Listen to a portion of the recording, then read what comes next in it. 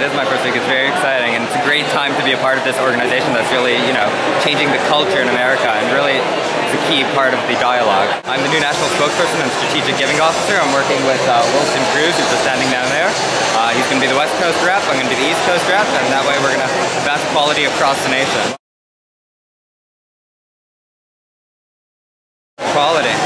Uh, I mean, for me, it's also less bullying. That's, that's really important. We've got some great programs with that, and I don't think the work's going to be done until every day is Spirit Day. It's not enough to have one Spirit Day a year. Every day we've got to be speaking out against bullying. Yeah, I, don't know. Maybe Bill Clinton, Steve Warren. We're both up for really big, you know, honors and recognition, and I